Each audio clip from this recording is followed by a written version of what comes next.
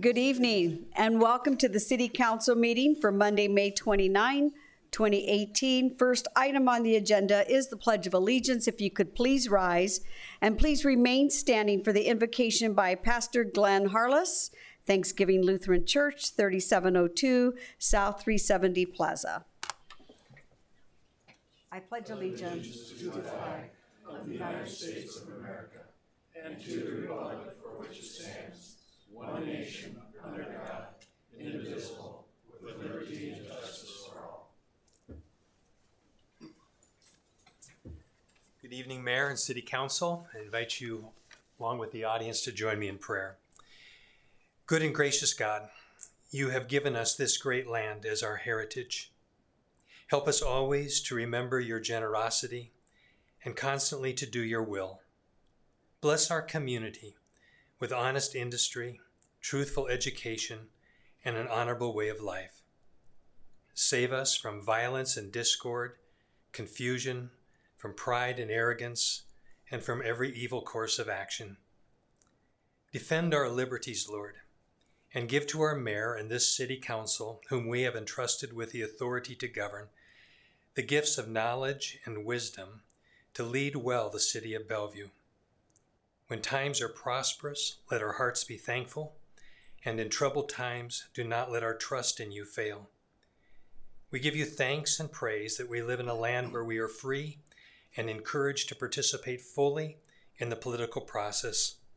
And so, Lord, tonight we humbly invite the blessing of your presence at this meeting of our City Council. I pray in Jesus' name. Amen. Amen. Thank you, Pastor Glenn. Item three, Sabrina, please call roll. Mr. Hanson? Here. Mr. Cook? Here. Mr. Shannon? Here. Mr. Preister? Here. Mr. Burns? Here. Mr. Modry? Here. Thank you. Item number four, this meeting will be conducted according to the Open Meetings Act, posting the entry to the council chamber. Item five, approval of agenda, consent agenda, agenda minutes, and advisory committee reports. Item five A is approval of the agenda. I'd move to approve the agenda. Have a motion? Second. Second by Mr. Modry. Discussion or questions? See none, please vote.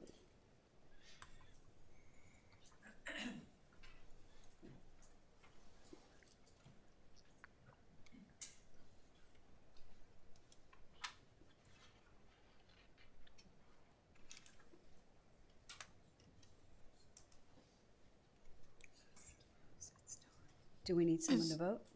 Mr. Price, are you not logged in? Well, I thought I was. I got the agenda, but nothing came up. Uh, Following in blue. He's following. Oh, The right meeting? actually, I think you're, you're logged in as Eric. So, so just, uh, what I would do is, is hit this.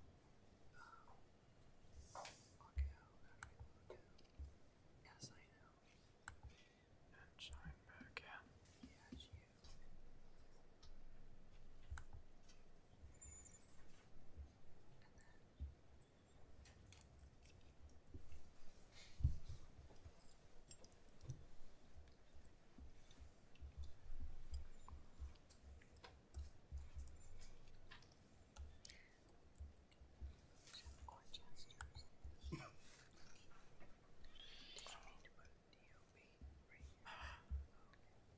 Thanks.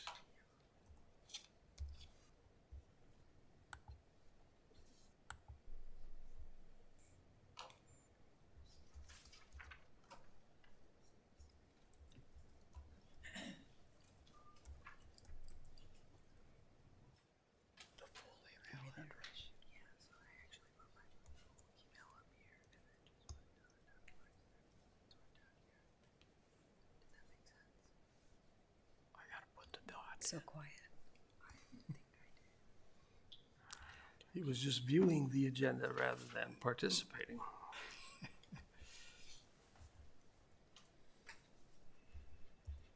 Sorry, everybody.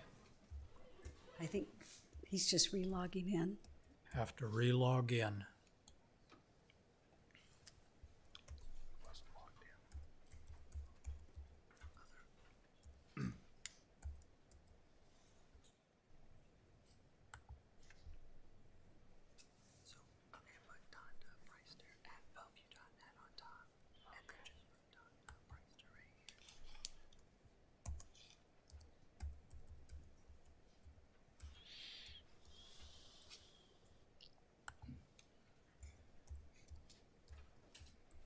The quieter the crowd gets, the nervouser it gets.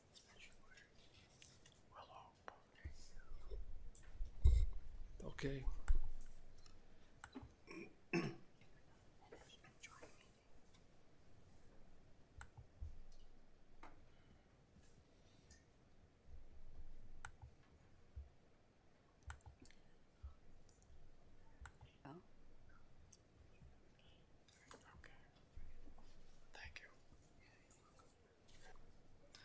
All voted yes. Thank you.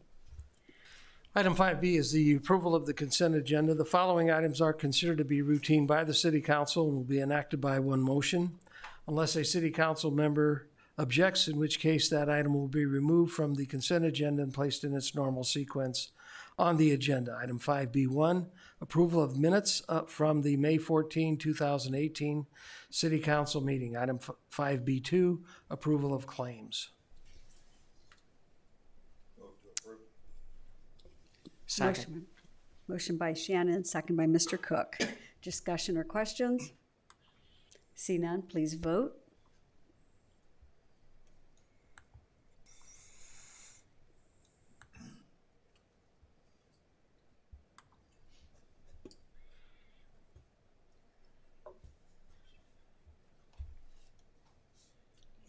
There we go.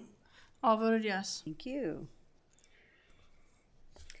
Item six, special presentations, none. Seven, liquor licenses. Item seven A is Charlie T. Marco and CT Marco Inc., doing business as Chandler Bar, application for a Class I liquor license at two six one seven Chandler Road West, and Charlie T. Marco as manager. I'll open for public hearing on this item at this time. Anyone wishing to speak on this item, please do so. See none, I'll close the public hearing. Mr. Cook? Thank you, Mayor. I'll make a motion that we recommend approval to the Nebraska Liquor Control Commission, the Charlie T. Marco and C.T. Marco, Inc., doing business as Chandler Bar, that their application for a Class I liquor license at twenty-six seventeen Chandler Road West and Charlie T. Marco as manager be approved. Second. Second by Mr. Hanson. Discussion or questions? Mr. Modry? Uh, yes, uh, I'll be abstaining from uh, voting for items seven A, B, and C for religious and personal reasons. Thank you. No further questions, please vote.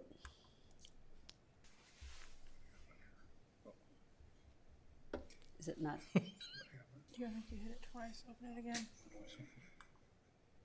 Did yours go away too, Shannon? Is it back? Should be. Is it reappeared?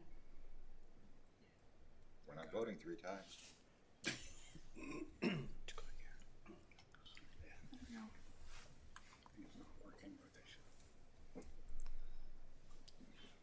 Five yes votes, one abstention. Thank you. Item seven A one is the application for CT Marco Inc., doing business as Chandler Bar to operate as a Keno satellite. I'll open for public hearing on this item. Anyone wishing to speak, please do so at this time. Uh, John Hassett, your Keno operator, and I am answer, here to answer any questions, but Chandler and Farrell's, they exchange bars and we have to relicense them. Thank you. Are there any questions for Mr. Hassett? See none. Are there any others that would like to speak at this time on this item? See none, I'll close the public hearing. Mr. Cook? Thank you, Mayor. Make a motion we approve the application for C.T. Marco Inc., doing business as Chandler Bar to operate as a casino, as a Keno satellite. Second. Second by Ms. Mr. Preister. Questions, concerns? See none, please vote.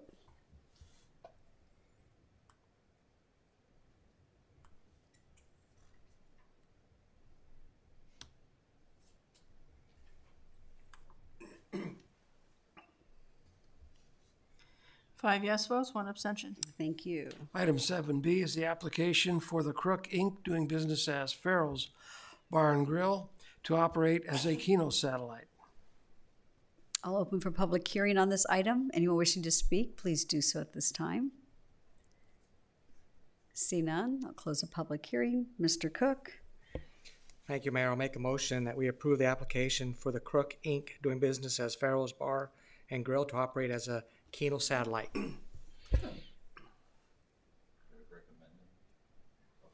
Was that a motion to approve? Rec- Motion to recommend approval. Mm-hmm. Second. Second by Mr. Preister. Discussion or questions? See none, please vote.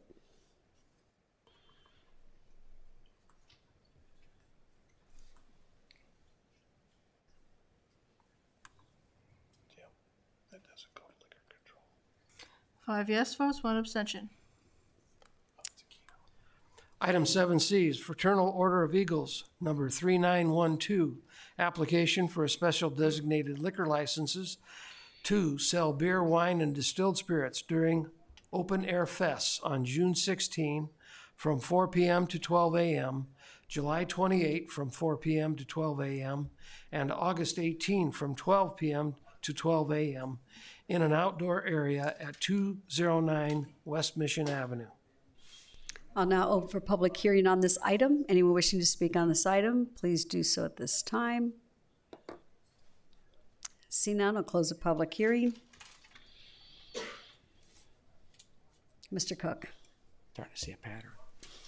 I'd like to make a recommend, a recommendation of approval to the Nebraska Liquor Control, Control Commission, the Fraternal Order of Eagles thirty-nine twelve application for special designated liquor licenses to sell beer, wine, and distilled, distilled spirits during open air fest on June sixteenth from four PM to twelve AM, July twenty-eighth from four PM to twelve AM, and August eighteenth from twelve PM to twelve AM in an outdoor area at twenty, at two zero nine West Mission Avenue.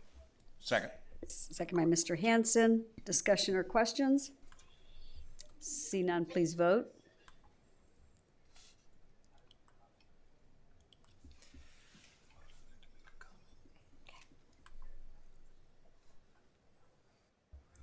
Five yes votes, one abstention. Thank you. Mr. Buckley? Yes, thank you, Mayor. Just going back to item seven B, the application for the Keno satellite at Farrell's Bar and Grill. Mr. Cook changed his motion to approve to a motion to recommend. I think the original motion to approve should be the one accepted and reflected in the minutes because a Keno satellite application doesn't go to the Liquor Control Commission. It's approved by the council. Do you have that, Sabrina? Thank you. Item eight, ordinance for adoption, third reading, none. Nine, ordinance for public hearing, second reading. Item nine A is ordinance number three nine zero five, sale of city surplus property just south of one three one one Bluff Street. Thank you. I'll now open for public hearing on this item. Anyone wishing to speak on this item, please do so. S- Mr. Buckley? I just want to point out, uh, before the meeting, Mr. Shuchuk, uh, showed me the legal description has a slight error as it's printed in your package, and we will get that changed to the proper legal description before third reading. Thank you. I'll go ahead and close the public hearing on this item. Mr. Preister? Thank you, Mayor. Thank you, Mayor. I just want to check if this line, and I haven't contacted OPPD to ask them, but if this entire line is no longer active or being used because the Kramer power plant is no longer there and operating, what about all the rest of the land, all the commons and all the area underneath the power lines? I mean, is it available? Is it something that other, we did this little section, but I'm just, I guess I need to call in, but if anybody knows the status, because it's sitting there, I think we mow it, I think we maintain it, and it just seems if it's never gonna be used, we may look at that as something we start selling off or do something with, so. I don't see anybody offering an explanation, so I will call OPPD and ask them. Mr. Cook? I, I think Mr. Preister is bringing up a good point. I, I would ask that Mr. Mangiamelli, maybe through our city legal, maybe they could research it, because that line stretches all the way up to 36th Street. Right. So there's just a, a ton of property. We've had development, especially out on 25th Street, Spring, uh, I'm going to say it wrong, Spring Ridge, Spring Creek or something, I think, is there by it. So I, I think it's an a- answer that w- the council needs to know because if that land is available, we may have several property owners that would like to maybe, that are adjoining the property would maybe then be willing to purchase it. If it's, I'm assuming it's our, pro- our property, we're the one selling and making motions to sell it. I think it's something we need to research and make a decision. And if it is, maybe we could even contact some property owners and see if they're, i- if, at the bare minimum, we could sell it and we're not mowing it or maintaining it. So- Mr. Roberts? I believe this is the second uh, piece of land that we've sold out of the commons area. And so, yeah, if people, but we only do it when they come and approach us to buy it. We don't seek Right. anybody purchasing. Well, and I, you know, it, it runs through some of our parks, which, which are our parks, but, you know, I, I think it even hits the Reed Center up here off of Lord Boulevard. I think, I just think there's a lot of opportunities there where we maybe could sell some land and not have to maintain it. That's just a thought. Thank you. Thank you. Any other discussion? The uh, second, the third reading will be June the 11th. Item 10, ordinance for introduction, first reading. Item 10A is ordinance number 3906, issuance of wastewater revenue refunding bonds, Series 2018, in an amount not to exceed $3 million. Staff requests that the statutory rule requiring reading on three different days be suspended and the vote be taken after the public hearing is held at this meeting. Mr. Severson? this is a good one. These are fun to talk about, saving half a million dollars. Uh, back in 2008, you can decommission the sewer plant, and they needed some money for it. At the time, the NDEQ stepped up and loaned them money at 4% plus a 1% fee. Um, we now have a chance to refinance that with even better rates.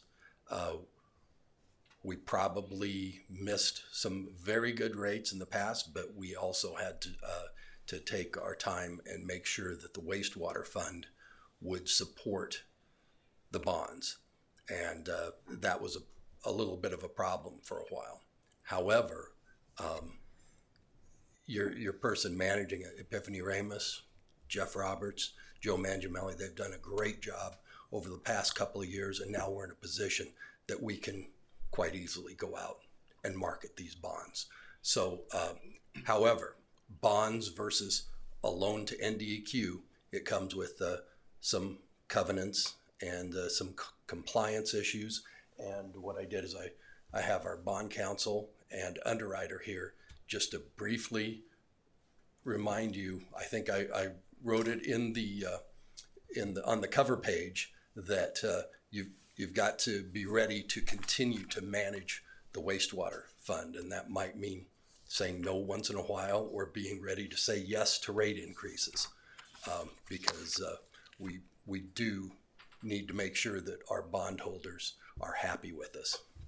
So, uh, Mr. Mike Rogers and Cody Wickham, and uh, we'll make this brief, but I think it's something that you need to hear. Welcome. Good evening. Uh, Mike Rogers with Gilmore and Bell, the, the city's bond counsel. Uh, uh, thanks, Rich. As, as Rich mentioned, um, uh, this would be a publicly offered uh, bond issue, which the city has done numerous times on, on other occasions for other purposes.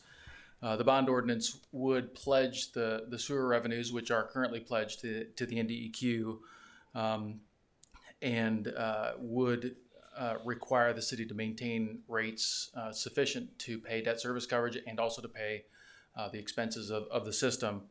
Uh, currently, the NDEQ loan requires a 1.1 times coverage uh, for ongoing purposes. This ordinance would not would just simply require a one times coverage. So that's that's a positive thing. But um, to, to borrow more money for the for the sewer fund would require a 1.25 times coverage test be uh, be met. Um, the ordinance delegates the authority to set the final terms of the transaction uh, to the mayor, city administrator, and finance director. Um, the bonds haven't been marketed. Uh, Cody can talk about that in a second as to what the current market uh, looks like. Uh, but um, they haven't been marketed. There are, are no rates established today coming into the meeting.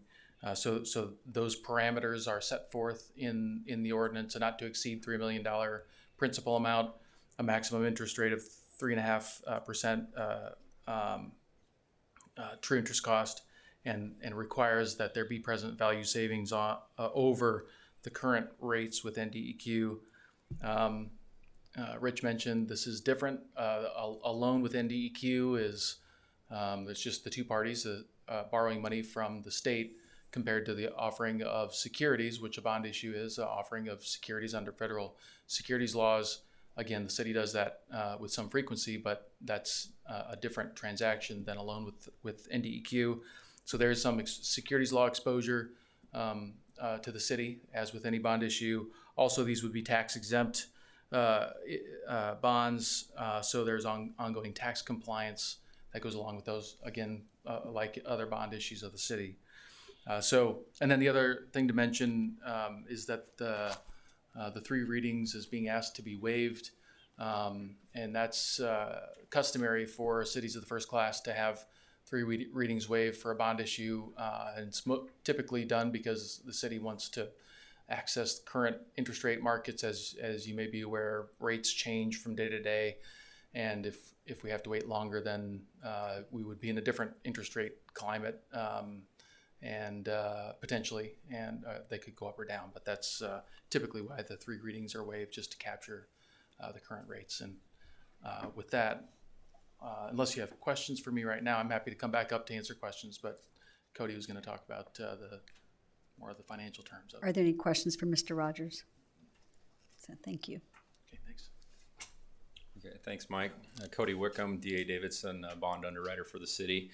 Um, Rich kind of stole my thunder with all of the good news to report, so I'll just give you a little more color and background into the transaction itself. Uh, as he mentioned, we're taking out the NDEQ loan that was established back in it was actually 2009 when the loan was was finally issued. Uh, he mentioned that was at a four percent interest rate with a one percent administrative fee. Where we're looking in uh, for current interest rate environment would be to refinance that down to approximately 2.802 percent. Um, uh, on a transaction such as this, the, the GFOA or the, the Government Finance Officers Association, we, we go off of kind of their litmus test, their standard for a, a present value savings percentage that justifies uh, or, or, gives us kind of the, the guidelines for when a city or, or issuer municipality should move forward with a refunding. And if, if the amount of savings to be generated is greater than 3% uh, of the total amount to be issued, they say it's a good time to move forward with the refunding. And in this case, the projected savings of $486,000 is a present value saving percentage of 12.4%. So it's it's definitely well beyond that 3% threshold that, that we deem as a good refunding. So it's it's definitely very good transactions for the city.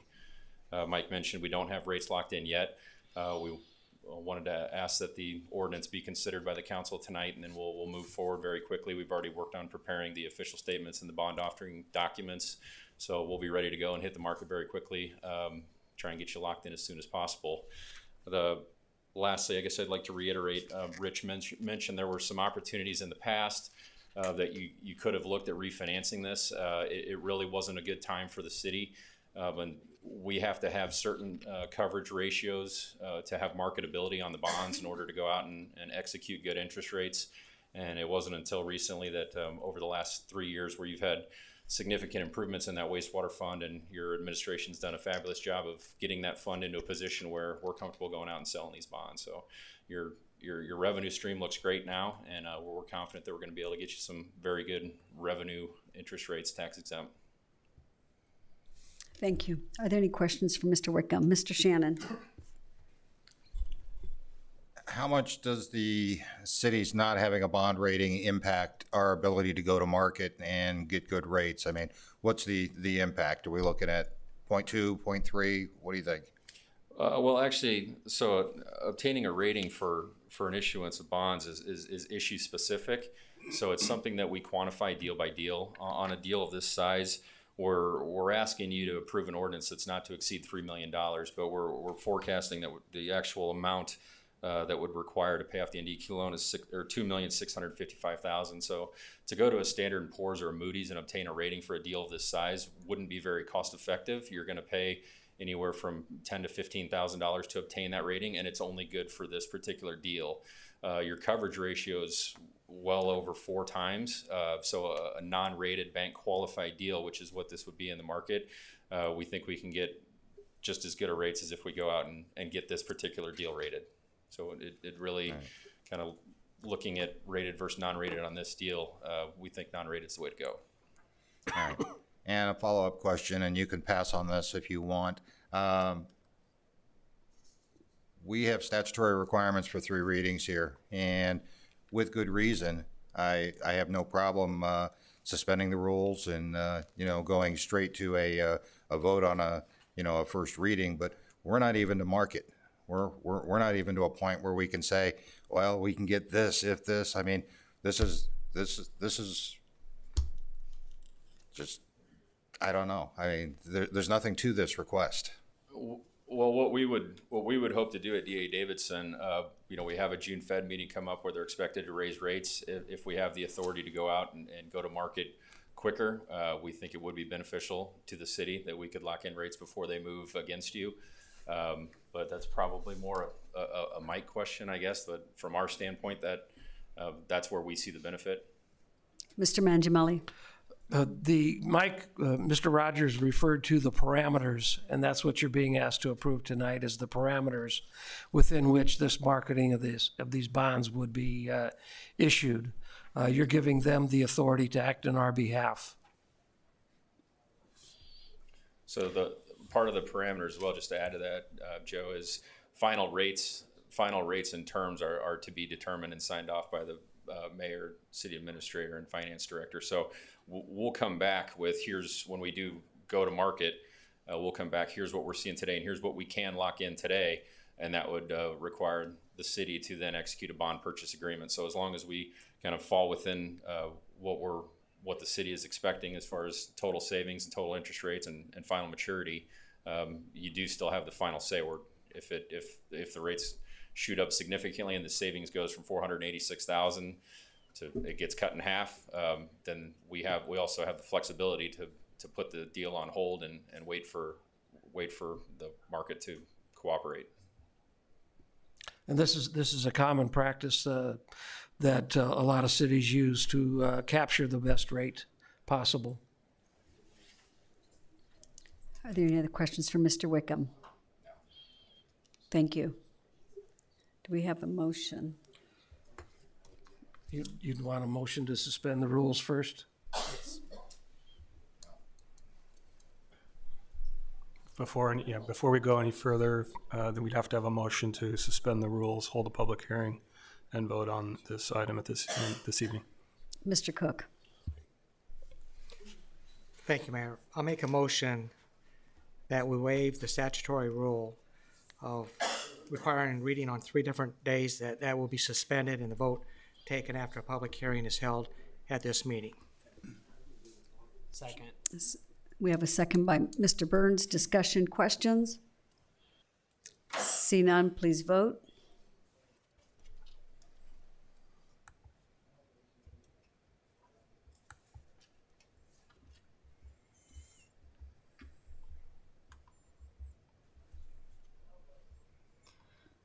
The vote is five to one with Mr. Shannon voting no. Thank you. I'll now over public hearing on this item. Anyone wishing to speak on this item, please do so at this time. See none, I'll close the public hearing. Mr. Cook? Thank you, Mayor. I'll make a recommendation, or a motion to approve ordinance number thirty-nine zero six.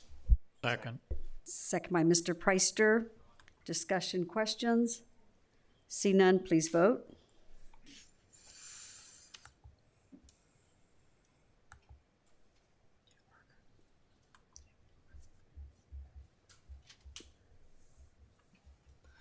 All voted yes. Thank you. Item 11, public hearing on matters other than ordinance, ordinance, none. Item 12, resolution, none. Under 13, current business. Item thirteen A is the acceptance of the bid and authorization for the mayor to sign the contract with Anderson Excavating Company, Inc. for the demolition of the structure located at two-six-one-one Harrison Street in the amount of twelve thousand eight hundred eight dollars to be paid from the Community Betterment Fund. Mr. Preister. Thank you, Mayor. I move to approve item thirteen A. Second. Mr. Second by Mr. Burns. Discussion or questions? See none, please vote.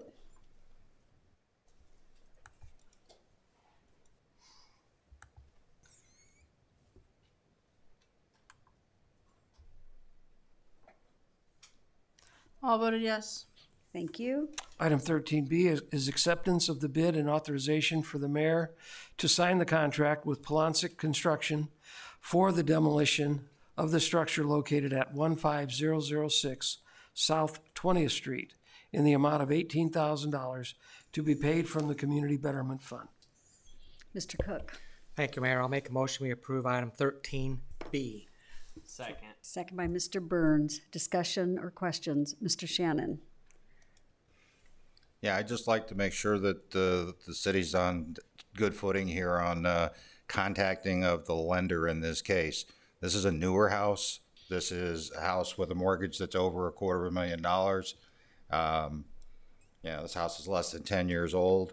Um, in contact with the homeowner, um, she was foolishly advised. She made some bad decisions. Um, you know, she had her roof ripped off, and this could have just been a roof replacement. And now all of a sudden, it stayed open uh, since the tornadoes, and we've got drywall and floors ruined.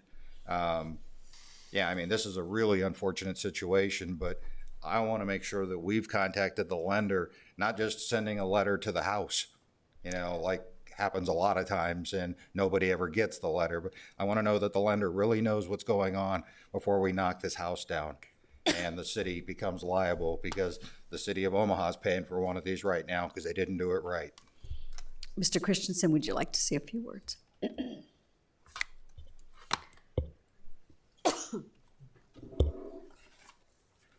There were letters sent out certified to the lender prior to even the resolution being passed. I spoke with a representative on the phone. They were very much aware of the situation and no one ever recontacted me. Okay, can you tell us what lender you contacted? I'd have to go back in my records and see. Because I talked to the loan officer that wrote this loan and his bank no longer has it. It's been sold three times.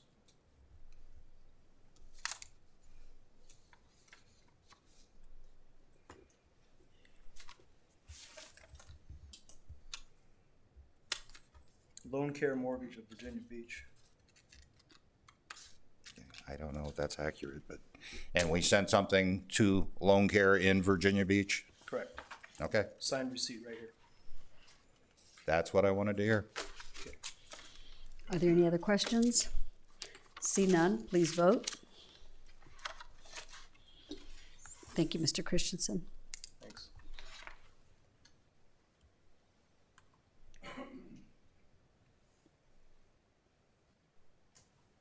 All voted yes. Thank you. Item thirteen C is the approval of and authorization for the mayor to sign a three-year maintenance service agreement with Microfilm Imaging Services in the amount of one thousand three hundred thirty-five dollars for all three years. Mr. Modry. Yes, I move that we uh, approve item thirteen C. Second. Second by Mr. Burns. Discussion or questions? See none, please vote.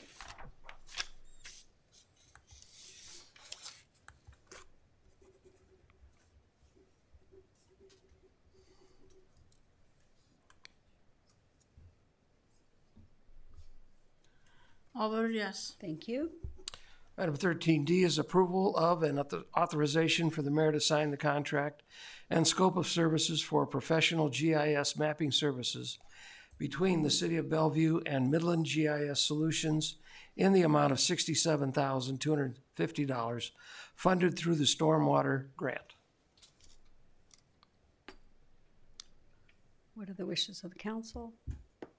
Mr. Burns. I move that we approve item thirteen D. Second. Second by Mr. Cook. Discussion or questions? See none, please vote.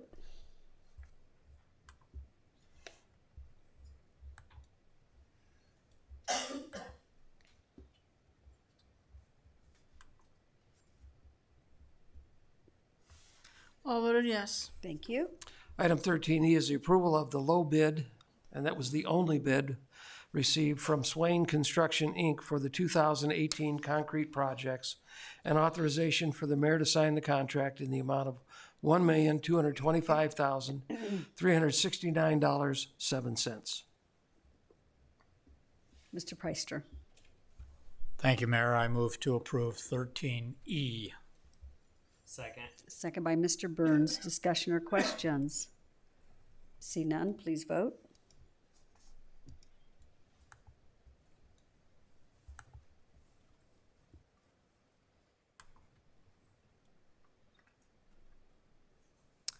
All voted yes. Thank you. Item thirteen F is the approval of and authorization for the mayor to sign the proposal from Thompson, Dreessen, and Dorner, Inc. regarding professional services, including improvements to Twenty-Fifth Street between Town Center Drive and Linwood Drive in the amount of seventy-two thousand dollars.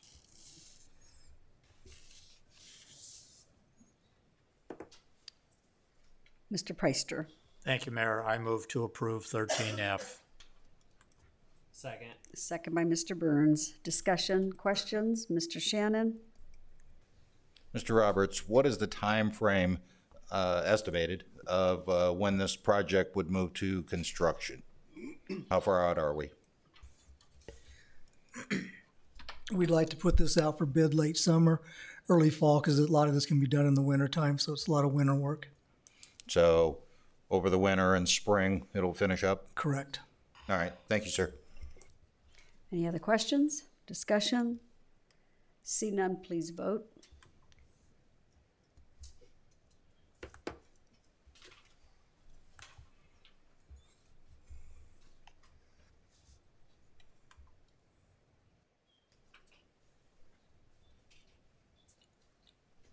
All voted yes. Thank you. Item thirteen G is the approval of an authorization for the mayor to sign the proposal and contract from JMN Construction LLC regarding the bridge repair on Thirty-Sixth Street over the West Papillion Creek in the amount of thirty thousand nine hundred six dollars. Mr. Cook. Thank you, Mayor. I'll make a motion, we approve item thirteen G. Second. Second by Mr. Preister. Discussion or questions? See none, please vote.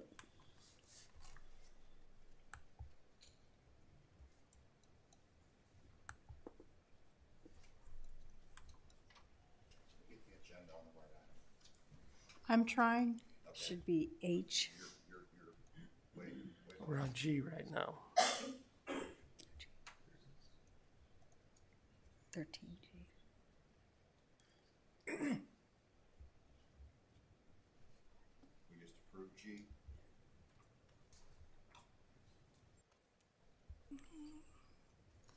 All voted yes. Item thirteen H is the approval of an authorization for the mayor to sign the proposal and contract with Hymus Corporation for the South Gravity Sewer Rehabilitation Project in an amount not to exceed three hundred fifty-six thousand, one hundred thirty-six dollars. Mr. Preister. Thank you, Mayor. I move to approve item thirteen H. Second. Second by Mr. Burns. Discussion, questions? Mr. Modry. Thank you, Mayor. Uh, I know the original bid for this came in at $1.1 million. uh, And then there was some negotiating things out to get us down to this uh, 356, 360,000. Uh, I'm wondering what, what, what is left off the table? What, what will still, what are we doing now that we're not, or what's not being done now that was originally envisioned to be done with this? Great question. So when we got the bid in, um, we were obviously very shocked. It came uh, very high above the opinion of probable cost for the um, from the engineer. we understood that we needed to look at potentially some different construction techniques, and we also looked at self-performing a huge amount of the scope of work, meaning that our in our our own city staff would perform some of the scope of work in basically a conjunction with the contractor. So one of the big things that we took off the table right away was bypass pumping. We do have equipment and we have personnel. So during the course of the construction project, we will be in charge of that part, part of the project. Um, the other piece of it was um, a, a, long, a long amount of CIPP cured in place lining on part of the project. Um, we are actually going to move forward with um, doing that ourselves as well. So that was a substantial savings. That um, I think the original bid for that on a linear foot per price was over three hundred and fifty dollars a linear foot. With us doing it ourselves, we're just in on material and of course our labor, so we are able to keep that to under hundred dollars a linear foot, which is a substantial savings. Um, and we also uh, basically worked with the contractor to evaluate the construction process itself whether or not bursting or open trenching, um, you know, what was going to be the most cost-effective way to do this. So um, through that open negotiation and conversation, we were able to value engineer the project back down into um, what you see. Okay. Are, are, are there, are there any portions, um, So nothing was left off. I think that was your original off. question. Yeah. No, nothing was left off. Everything is to be completed. Um, the uh, goal of the project is to increase capacity on the line, which is much Mhm. needed, to repair um, separated joints, which it's an extreme heavy amount of infiltration, one of the worst areas in town. That we're Um, paying so the. ROI, yes. So the return on our investment of this, we're, we're, uh, we're not paying for processing of that groundwater. Right. Um, we anticipate that to be even as soon as 10 years. So, okay, any other questions? thank you, thank you, Epiphany. Are there any other questions? Thank you, Epiphany Ramos with wastewater. So we have discussion questions. Please vote. Oh, Mr. Preister, did you have a? just a good job, well done, saving, once again, almost uh, two-thirds of a million dollars, but we will be expending some of that on some of the process and on some labor, but it will still likely save tremendous amount of money. So uh, nice that staff does that, and I compliment Ms. Ramos for doing it. Thank you.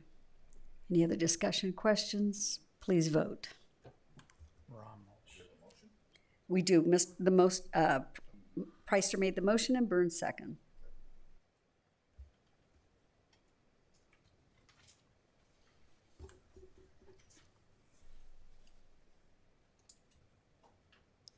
All voted yes. Thank you. Item thirteen I is approval of and authorization for the mayor to sign the project agreement with HOA Solutions for the Bellevue Lift Station upgrades Phase One in an amount not to exceed ninety-seven thousand sixty-three dollars eighty cents. Mr. Preister. Thank you, Mayor. I'll move to approve item thirteen I. Second. Second by Mr. Modry. Discussion questions? Mr. Shannon. Why can't we get to the packet tonight? I, I want to, I want to see the documents on this item. You should be able just to click on the document right that says item thirteen I. Okay. Acrobat. Give me a second, Mayor.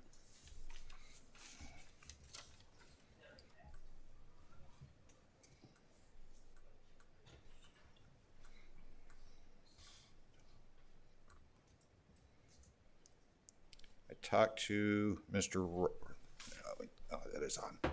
I talked to Mr. Roberts and I talked to legal today about this contract. I think this is the one we were missing a page, wasn't it? And that's been added back? Okay, so for anyone in the audience looking, page five is being added back into that packet. Uh, on page eleven. No. Maybe it's on page 12. Sabrina, was that just a copying thing? Yeah. Okay. I think pages stuck to each other. Yeah, it's on, yeah. Page Sabrina, 12. can you bring up page 12 of the attachment?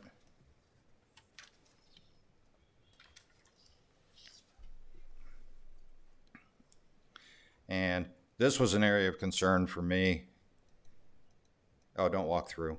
Oh, okay, you go faster than we do.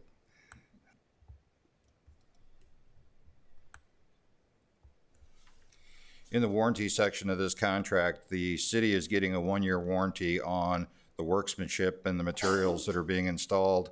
Uh, but the warranty becomes effective based upon substantial completion rather than final completion.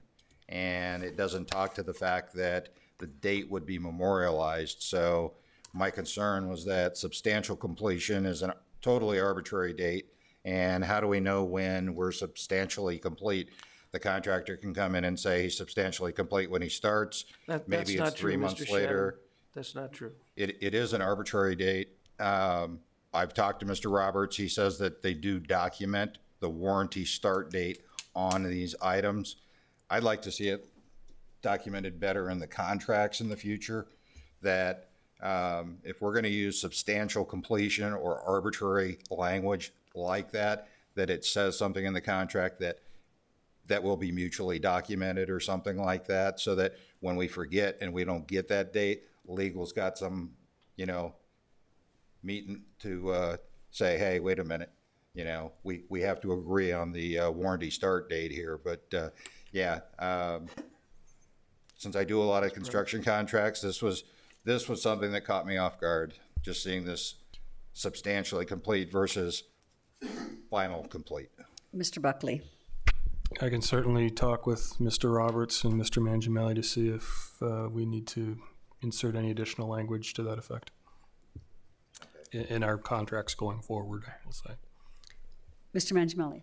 Uh, before anybody is, has additional concerns, substantial completion is a standard terminology uh, with contractors. Uh, and the city and the contractor have to agree in writing what that date is. So it's not arbitrary. It's when the work is substantially completed to meet the scope of work that they have contracted for. Uh, and a date is set for that uh, substantial completion. Any further questions or discussion? See none, please vote.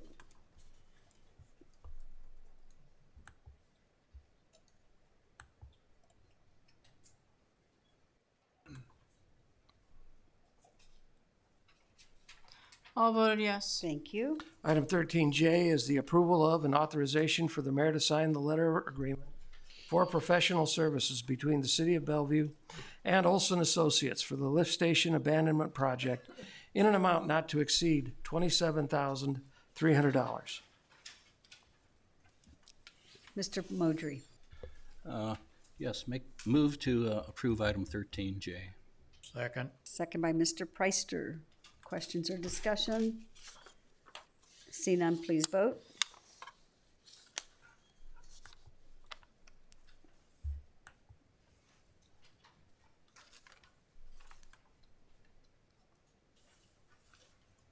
All voted yes. Thank you. Item thirteen K, approval of an authorization for the mayor to sign the agreement between the city of Bellevue and the state of Nebraska Department of Transportation for traffic signal improvements in an, in the amount of seven thousand one hundred dollars as the city share. Uh, Mr. Roberts, I don't know if you were in the chambers at the time, but Mr. Shannon had a question. Is this, this is the project that our share is five percent of the cost? I didn't look at the percentage, but uh, this is a, uh, yeah, this is a 90-10 highway safety project. 90-10. With the owners doing 10%, so that would be split between us and NDOT. So 5% is correct. Okay. Thank you. What are the wishes of the council?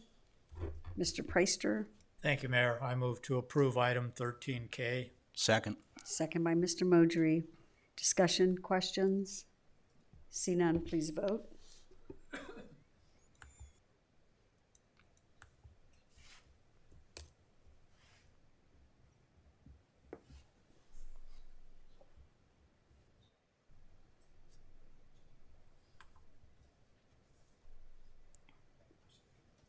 All voted yes. Thank you.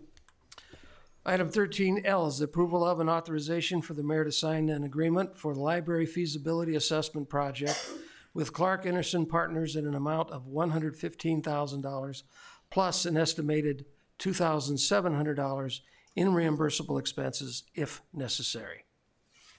Mr. Burns. I move to approve item thirteen L. Second. Second by Mr. Preister. Discussion, questions? Mr. Shannon. I've been approached by members of the audience that say they'd like to speak on this item. Can we open a public hearing on this item, please? I'll make a motion that we open a public hearing on this item.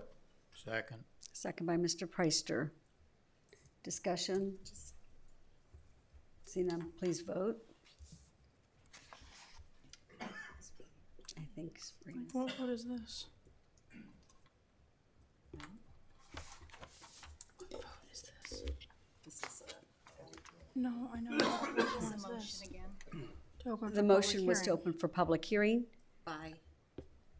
Miss- by Mr. Shannon and second by Mr. Preister.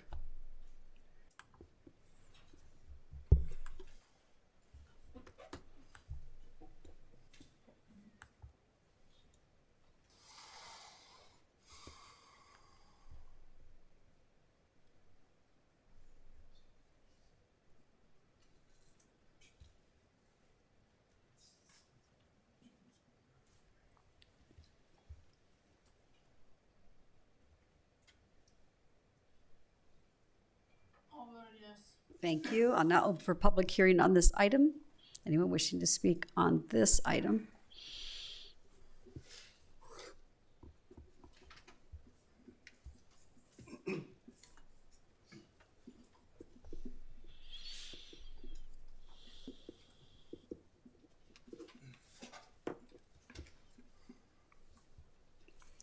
Uh, Chuck Frederick, uh, 1511 Madison Street. Uh, I'm not really sure that you need to have another study. When I was in the city council, Jerry Ryan was mayor, uh, we had a study done. We had uh, uh, people from the University of Nebraska, architects, build a, a few models. We took them to the library.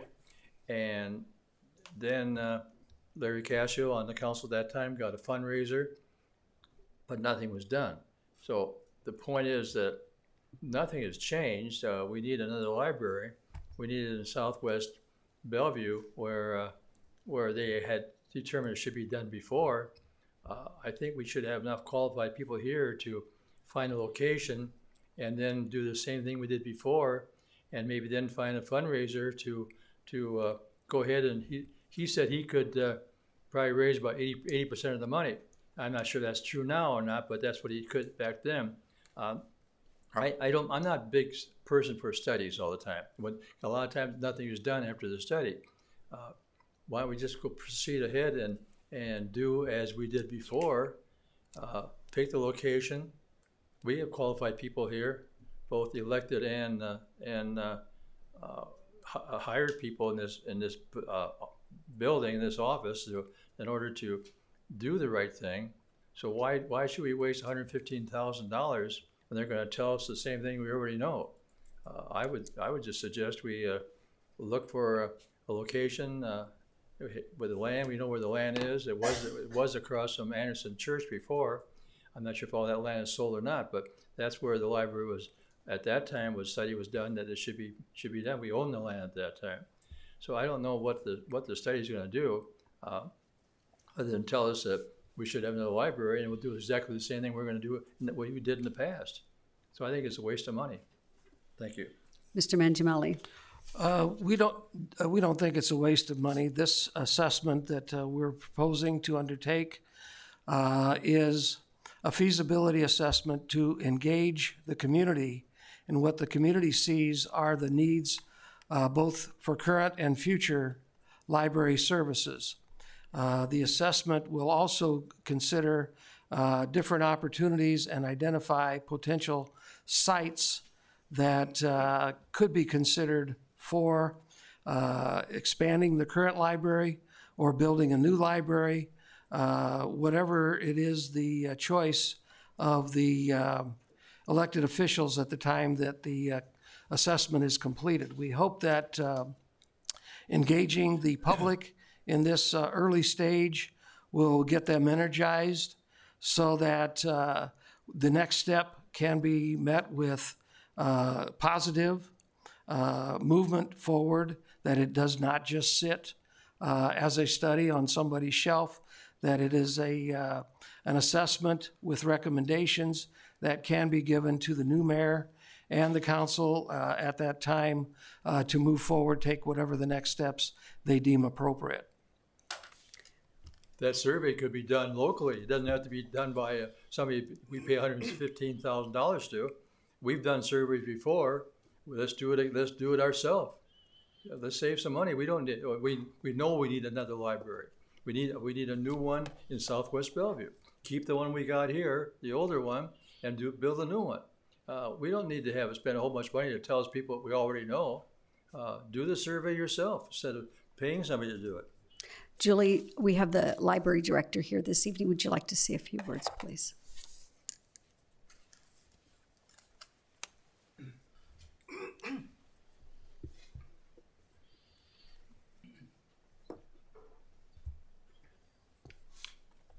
Hello, everyone. Um, I'm Julie Dinville, the director of the Bellevue Public Library.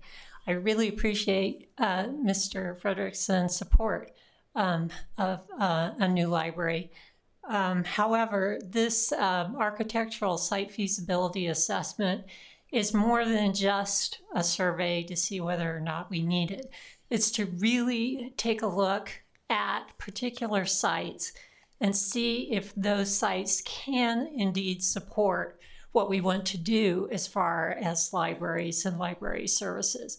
So they're going to look at it from an expert and critical eye. And when we identify some sites through the public input portion of um, the project, then they will take a look at those and really say, yes, this will work, no, that won't work and come back to us with a really critical expert opinion on on the site that we might select. So that's really we're looking for their expertise on on that kind of selection. Mr. Cook. Thank you, Mayor. Julie, um, I don't know when Mr. Frederick made reference that there was another study done. Has there been other studies done? Uh, I know when he, he made reference when he and Mr. Cascio were on the on the council. I don't know how many years ago that was, but has there been other studies done? And if there's so, if if they have been, have they been as detailed as what we're going to get in with this study? No, um, in 2011, 2012, the Bellevue Library Foundation actually paid for a study, not the city, but the foundation. And at that point, um, we looked at a needs assessment. We did this again in 2016 because the council indicated to us that we needed to update our needs assessment. And what that really did was just look at the current building and whether or not the current building was meeting the needs that we have. So that is all that that did. It did not do a site evaluation um, type assessment. Does that answer your question? Yeah, yeah, so that you're just saying this is going to pretty much look at everything. I mean, do we need a facility? Can we renovate? Land, location, bring the community involved and get them on board. Right. This will this will have a much more in-depth scope in terms of actually looking at a site and whether it really matches what we want to do. Um, you know, literally, you look at if we were going to refurb another building, uh, would the load, you know, would that building handle a load that we needed, needed to do? Is there space adequate for parking? So it's really going to take a, um, you know, a, a much more focused look at various sites that might come forward through the public comment portion. Yeah, but the last two were needs assessment, so they Yeah. are just They were strictly looking at do we have do we have enough space for a children's area in the current building only? And this, you asked for last year to be, and it was put placed in your budget to, uh, to pay for this study? So uh, we're going to pay for the initial part of this study through savings in the library's budget, and that will go take us through the um, end of this fiscal year, and then part of that study um, will take place through September, October. It'll carry over into the next fiscal year. And we hope to have it completed by the by December with a report back to you by December of uh, 2018. Have Have you talked to the candidates that are running for mayor? Do you feel that they're on board with this? Um, as far as just doing the needs Yeah, assessment, have this brought to them about time they no, would take I have not, Mr. Cook. Mr. Mangiamelli. Uh, Mr. Cook, uh, just a reminder that uh, this project was included in the strategic plan that the city council adopted March uh, 12 of this year.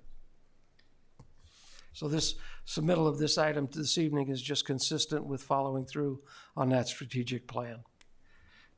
And I, I'm not disagreeing with that. I just didn't know where it was budgeted and where the money was coming from.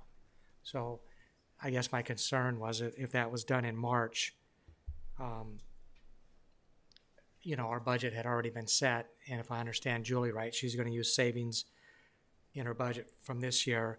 And then it would probably be part of her next budget to finalize it.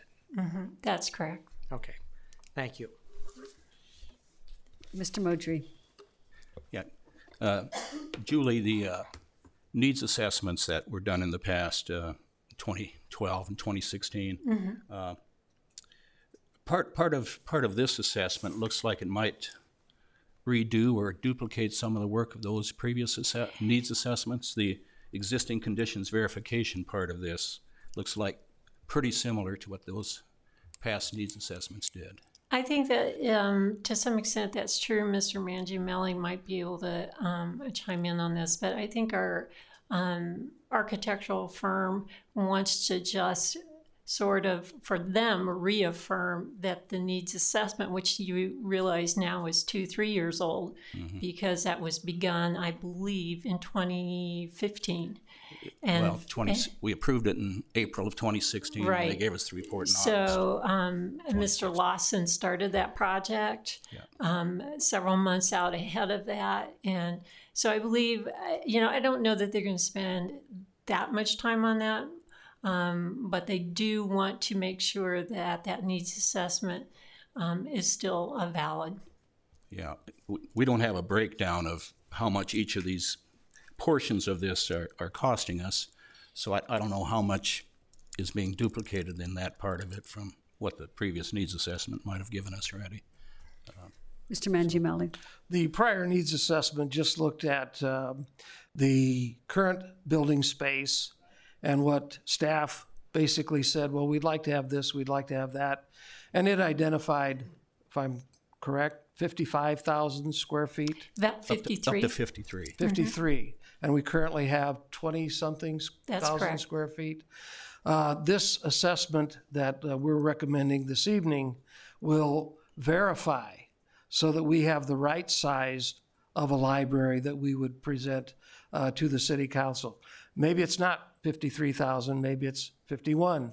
And you save 2,000 square feet at three or four hundred dollars a square foot, substantial savings. So we want to make sure that we have the right sized facility uh, that we can present uh, for consideration. Yeah, yeah. I, well, just looking at this, there's five bullet points under that existing conditions verification, and from what I see, four of those I think were covered previously. Uh, so I don't know. Mr. Shannon. How did we get to site selection?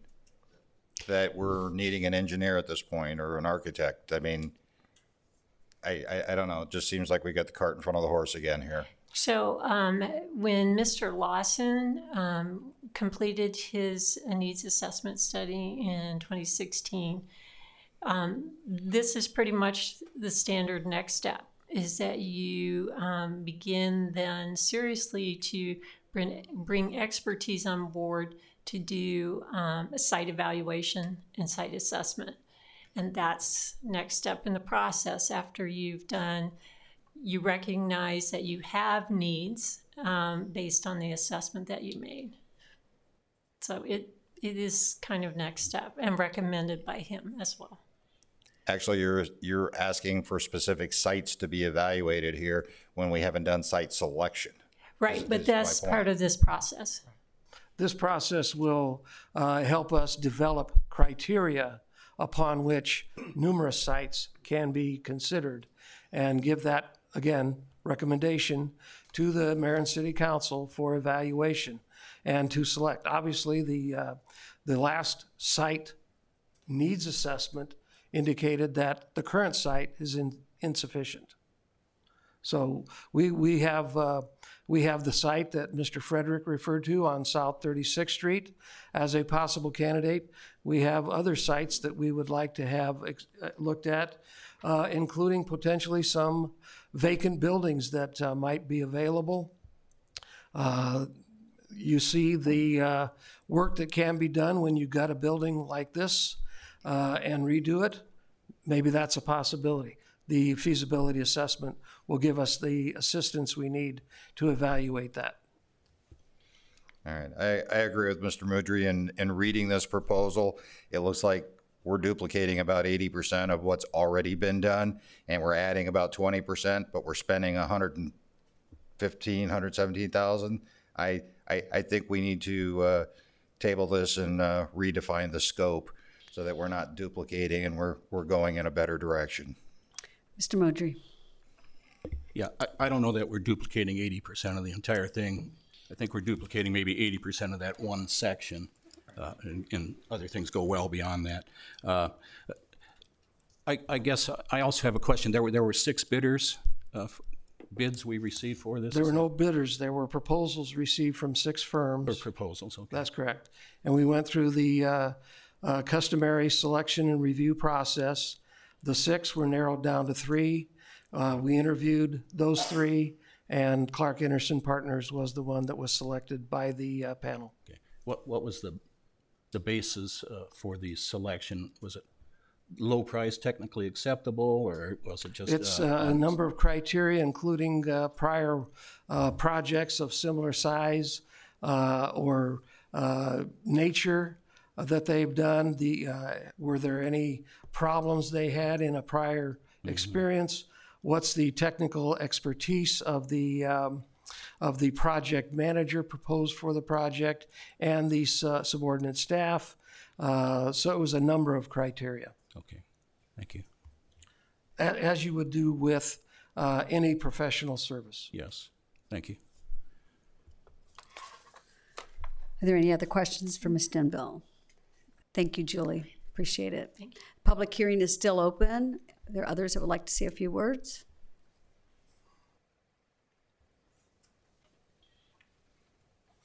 Hi, I'm uh, Jeffrey Dame, uh, 14611 South 24th Street. Um, as for the library proposal, one of the things that I've noticed wasn't discussed at all in terms of feasibility is what the current utilization level of the library is in terms of how many how many uh, library card holders there are, how many people they're seeing in and out of the building of the day, because it seems like that would determine what kind of site you need. And it seems like with all the studies that we've talked about, I didn't hear any of them mentioning anything other than than architect, architecture, and also maybe considering the the scope of how we would like the library to move in terms of additional services or something like that before we jump ahead to spending six figures on another study.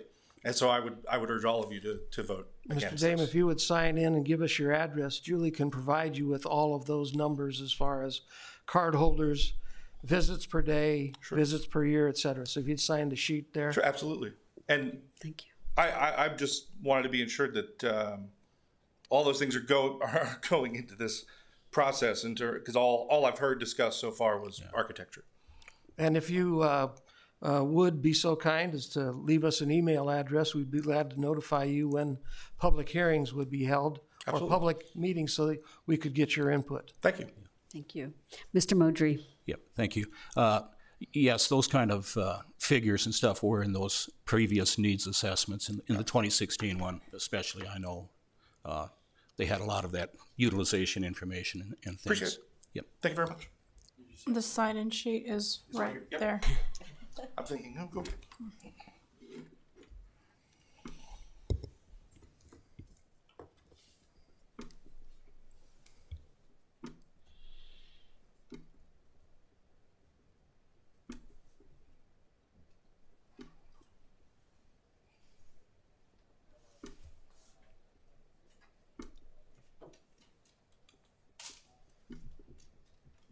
Thank you, Mr. Dame. Are there others who would like to speak at this time on this item?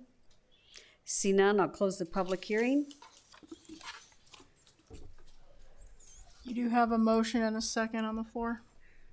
Any questions, discussion? See none, please vote.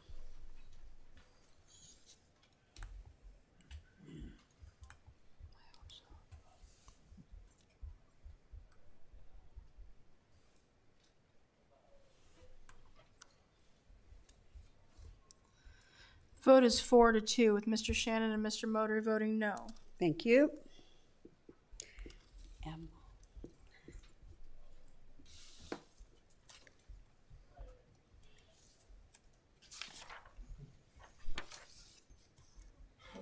Item 13M is approval of an amendment to the interlocal agreement creating the Sarpy County and Cities wastewater agency and approval of the FY 2018 budget. Mr. Modry. Uh, move to approve item 13M. Second. Second by Mr. Burns. Discussion or questions? Mr. Shannon? Who is our representative to this body? The mayor and I serve in her place if she's not able to attend. Thank you. Any other questions? Please vote.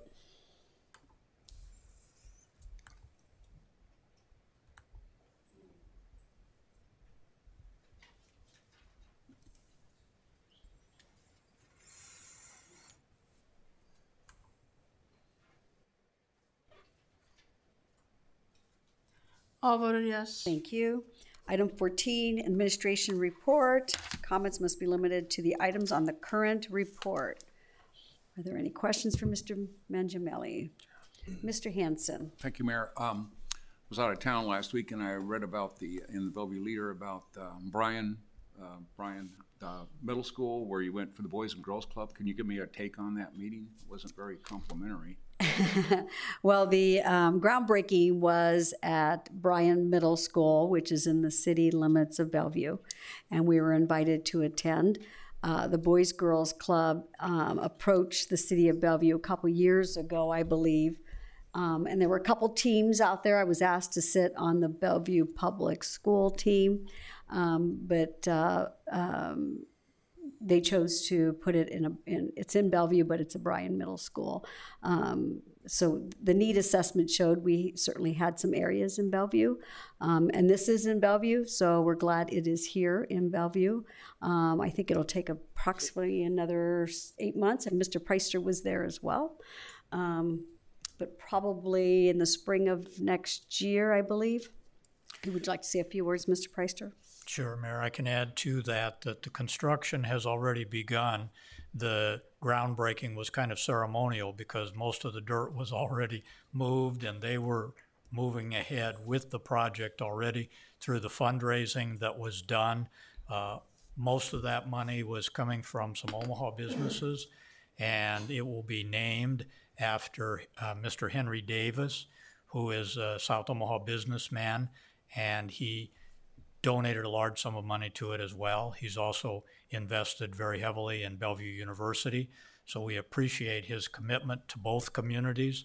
And it is a, a community center. It will be open to all students in the area. So any students from any of the Bellevue high schools or the Bellevue junior highs could all attend. It will be open after school hours, so students don't have to be transported to the after-school services, and students can stay there until well into the evening. For those who need some additional supervision or additional help with studying, the, all of the facilities in the school will be available. But in addition to that, there will be a new gym that will be a part of the new development and some additional computer classrooms so that the educational component especially can be provided. So it's an after-school service and it will, uh, they're anticipating about 350 students a day. This, unlike their normal operation, which starts about age eight, seven or eight, and goes through 18, this will be limited to middle school and high school primarily. Great project. Oh, Thanks, the, the last part that the mayor started, the, the construction has started. It's expected to be open for the start of the school year in 2019, next year, before school starts. They hope all construction is done and they're ready to operate. Thank you, Mr. Preister. Thank you. Are there any other questions? See none, we'll move on to item number 15, public request to be heard. Any member of the public addressing the council shall abide by council policy resolution number 35 regarding the principles of conduct and decorum, which states any statements made during the city council meeting by the mayor, members of the city council, city official, and employer members of the general public shall not involve personal, impertinent, or slanderous attacks on individuals regardless of whether the individual so attacked is elected official, city official, employee, or a member of the general public. And City Code Section two 68 regarding the manners of addressing the council. Copies of the aforementioned rules are posted on the outside of the council chambers. Speakers shall limit their presentation to five minutes.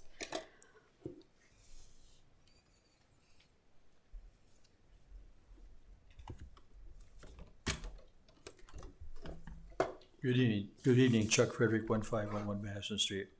I hope everybody had a nice and safe Memorial Day weekend. A little warm, but it was nice. Uh, I want to thank uh, Pat, uh, Councilman Pat Shannon for being instrumental in, in uh, eliminating the public request to be heard, so it was not eliminated. And I want to thank all the people who voted to keep it in. Uh, I've talked about the lack of, lack of parency yeah, in this, in, in this city, and we need more transparency. Uh, we need the state auditor to come down and take a look at our financials. Uh, Another thing, very obvious, transparent, is this podium. I've suggested cutting this off.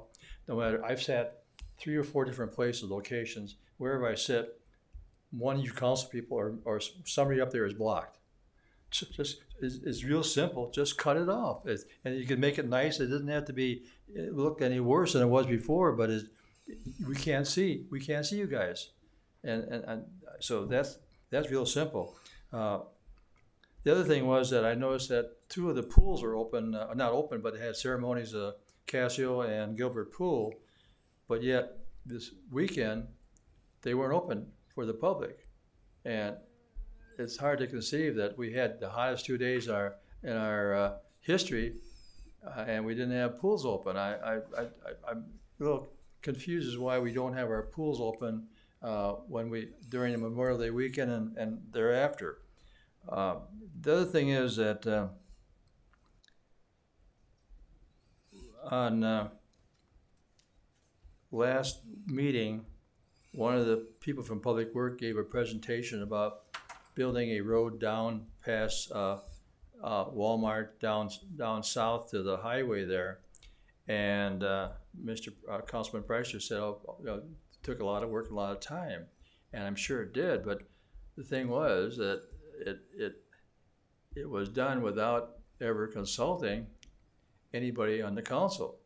Now, Mr. Shannon asked about this, and it ended up that uh, there was no cost on it. It looked like we went the most expensive way, and I, I think it'd be a little bit a lot better if, if there had been some communication with the council people and city administrator and everybody else to try to get the presentation so it made sense. But uh, uh, and I also heard, I think it was going to be down the road before we get it built.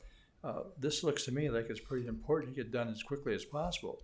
So I, I'd like to see uh, the lowest possible cost to get a, high, a road down that way without without uh, bicycle paths or trails and get get it done so we can get that traffic out of there as, as quickly as possible.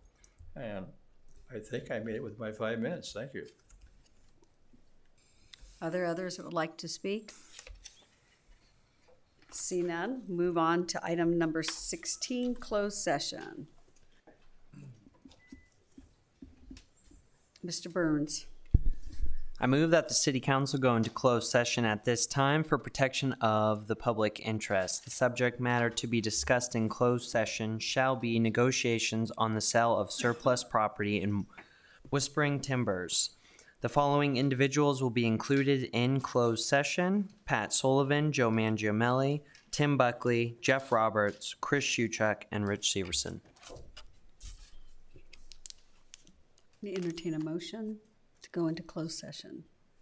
Was that a, was that a motion, Mr. Burns? That was, oh. what did I say? And Mr. Mr. Shannon, second. Discussion or questions? See none, please vote.